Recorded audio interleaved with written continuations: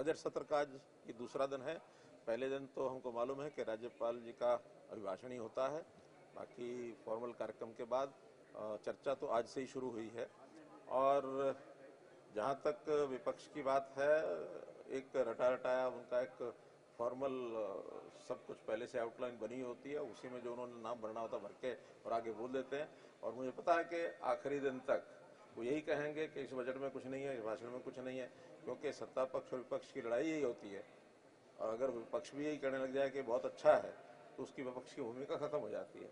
इसलिए उनको जो बोलना वो बोलेंगे ही लेकिन इस सारी चर्चा में आपको पता है कि लीडर ऑफ़ द हाउस के नाते से मुझे इसका उत्तर देना सात तारीख को मैं इन सब बातों का उत्तर दूँगा जो भी उन्होंने विषय तय किए हैं। इसलिए कहीं कोई कठिनाई नहीं है।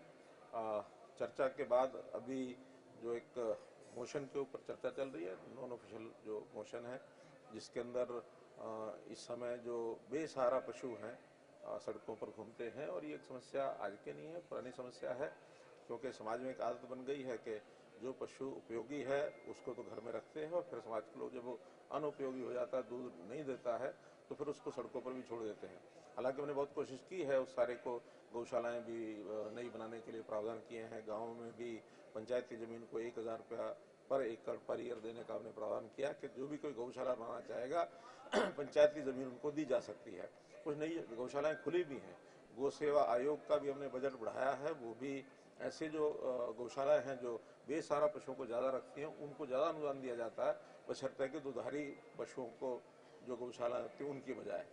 और इसी में से आगे गौशालाओं को कैसे उपयोगी बनाया जाए, उनका जो गोबर है या गोमूत्र है, उसके माध्यम से बनने वाली कुछ दवाइयाँ हैं, कुछ अन्य चीज़ें भी हैं, उसकी उद्योग के अंदर कैसे उपयोगिता की जा सकती है, खाद का किस प्रकार से अच्छा उपयोग किया जा सकता है, फिनाइल उसमें से बनाई जा सकती है, ऐसा एक उद्योग के लघु स्वरूप को भी गौशालाएँ खड़ा कर रही हैं ताकि जो गौशालाएँ हैं, वो अपने पैरों पर खड़ी हो जाए और उनको बहुत ज़्यादा कठिनाई ना पैदा हो।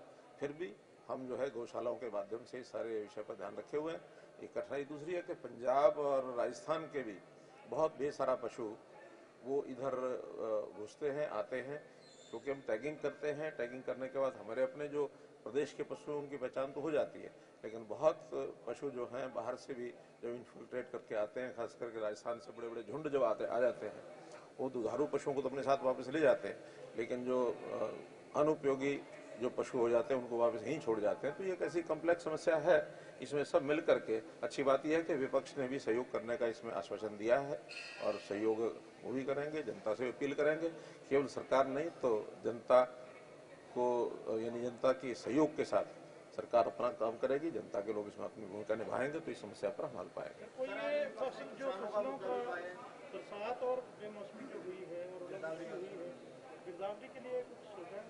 नहीं गिरदावरी का जैसे मैंने बताया सदन में भी आ, मैंने ये स्पष्ट कर दिया है कि जो सामान्य गिरदावरी होती है वो फरवरी के महीने में होती है एक फरवरी से लेकर अट्ठाईस फरवरी तक।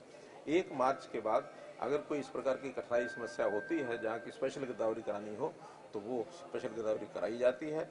डीसीज को कह दिया गया है कि जहाँ जहाँ इस प्रकार का नुकसान है और वो सामान्य गिरदावरी में उसका दर्ज नहीं हुआ है तो उसकी स्पेशल गिरदावरी करा करके रिपोर्ट्स बना के भेजेंगे। उनको सबको मुआवजा दिया जाएगा। यूक्रेन का अपडेट है?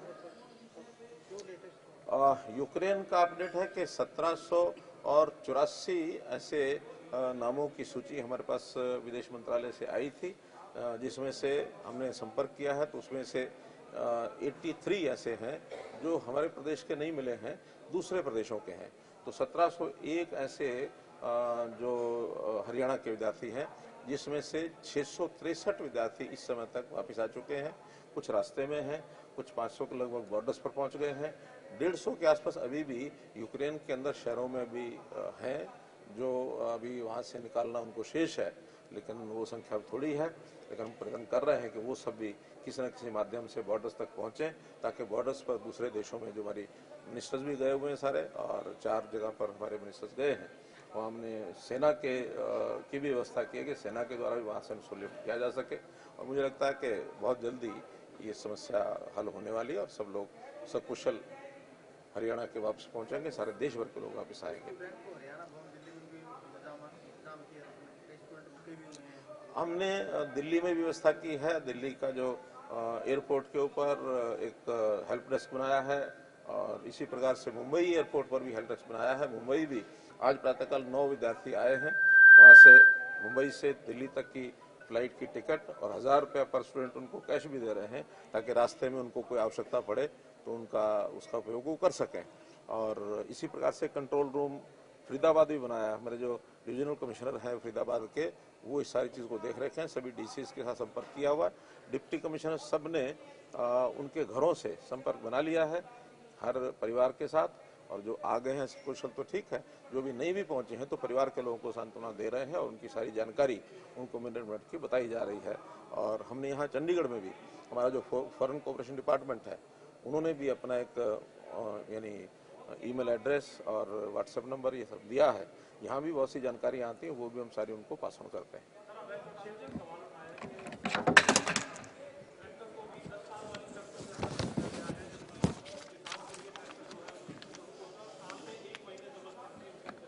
देखिए, चूँकि एनजीटी ने जो नोटिस निकाला है, उसमें अलग अलग से कोई वाहनों की उसमें चर्चा नहीं की गई है। उसमें तो सीधा सीधा ये क्या है कि 10 साल के जो डीजल के यानी डीजल के वाहन है और 15 साल पुराने जो पेट्रोल के वाहन है उन सबको ही उसमें श्रेणी में रखा है। लेकिन हमने पिछली बार भी ट्रैक्टर्स को इसमें छूट दी थी और अभी भी हमारा मत ये है कि हम उस छूट को बढ़ाएँगे और उसमें से रास्ता क्या निकल सकता है केंद्र सरकार के साथ हम मिल करके कोई ना कोई रास्ता उसका ज़रूर निकालेंगे। सर के मामले पर केंद्र से कोई मांग की पिछले विधानसभा सत्र में भूपेंद्र सिंह हुड्डा जी ने चेक पढ़ी और ये कहा कि ऐसे ऐसे कोई घपला घोटाला हुआ। आज ने कहा कि एक जिला के उपायुक्त जो है, वो पैसे मांग रहे शासन सहयोगी का नाम जोड़ा गया। तरीके की बात सदन में होना उसके बाद जब आपने पिछली बार भी कहा तो आपको उन्होंने वो कागज़ नहीं सौंपा। आज नाम नहीं पता। इस तरीके के व्यवहार पिछली बार के विषय को हमने थोड़ा लाइटली लिया था, लेकिन अब अगर ये जानकारियाँ नहीं देंगे तो निश्चित रूप से हमारे पार्लियामेंट्री अफेयर मिनिस्टर की तरफ़ से हम जो है एक आप क्या प्रस्ताव लाएँगे? क्या? प्रिविलेज मोशन वो लेकर के आएँगे इसकी जानकारी या तो दो। और इस प्रकार से कोई भी विषय सदन में कह करके और उठ करके उसका कोई गैर जिम्मेवाराना तरीके से कोई सदस्य व्यवहार करेगा तो मुझे लगता है कि सदन के जो मान्य अध्यक्ष को ज़रूर उस पर कार्रवाई करनी चाहिए। सर बीजीएमपी के मामले पे केंद्र से कोई मिलने का तय हुआ है क्योंकि आठ के बाद काफ़ी रिसर्च पीरियड है उस उससे मैंने है? इसका जवाब मैं विधानसभा में दूँगा। सर आज एक सदन में सरकार की तरफ़ से जवाब दिया कि पेंशन को लोगों के साथ तीन लाख सालाना वाले पहले कहा जाता था एक लाख अस्सी नहीं नहीं, एक लाख अस्सी हज़ार की बात कभी हमने नहीं कही। ये कांग्रेस से समय ही इसको दो लाख किया गया था, लेकिन दो लाख से ऊपर के भी बहुत लोग पेंशन ले रहे हैं। अभी उनको कोई बात हमने कही नहीं है, बल्कि हमने तो परिवार पहचान पत्र के माध्यम से ऐसे परिवारों की पहचान की है कि जिनको पेंशन जो लेने आए नहीं, या उन्होंने फार्म नहीं भरे, और या उनको कोई कठिनाई आई होगी जो पेंशन नहीं ले पा रहे हैं ऐसे 22,000 परिवारों को हमने छांट लिया है। उन 22,000 परिवारों का हमने फ़ील्ड के अंदर सर्वे कराने के लिए भेज दिया और मुझे लगता है इस महीने के अंदर सूची सूची आ जाएगी। उन सब 22,000 परिवारों को भी पेंशन हम देंगे। इसलिए जो हकदार है उनको सबको पेंशन मिलेगी और जो हकदार नहीं है बहुत ऐसे लोग हैं, लालच में आकर के गलत जानकारियाँ दे करके पेंशन लेते हैं, उनको नहीं लेनी चाहिए, इतना ही मेरा कहना है। सवाल है। डोमिसाइल का जो पंद्रह से साल का जो कर दिया गया था, उसमें विपक्ष का ये कहना है साल में जो डोमिसाइल बना लेंगे तो दूसरे प्रदेश से यहाँ काम करने लोग आते हैं तो बाद में यहाँ डोमिसाइल बनाने के बाद अपने बुज़ुर्गों को यहाँ ले आएँगे। पेंशन में वो शामिल करवा लेंगे कहीं बैठे वो पेंशन देखिए देखिए ये हमारे ही प्रदेश में नहीं है बहुत प्रदेशों में अलग अलग तरीके से है। कोई पंद्रह साल का है तो कहीं दस साल का है कहीं पाँच साल का है कहीं सात साल का है कहीं तीन साल का भी है। अलग अलग प्रदेशों ने अपने अपने हिसाब से सब चीज़ों को रखा हुआ और आखिर सारा देश एक है भाई। एक देश में इन छोटी बातों के ऊपर विचार करने की ज़रूरत नहीं होती है। आखिर तो हम अपने प्रदेश के लोगों को पचहत्तर परसेंट का जो देना है हमने उनको लाभ दिलवाना है उसमें उद्योग ने ये कहा कि ये उनको स्वीकार नहीं है। इस कुछ बीच की बातों को लेकर के सारी सहमति बनी है तो उसमें से अपने प्रदेश के लोगों को भी लाभ होगा उसमें।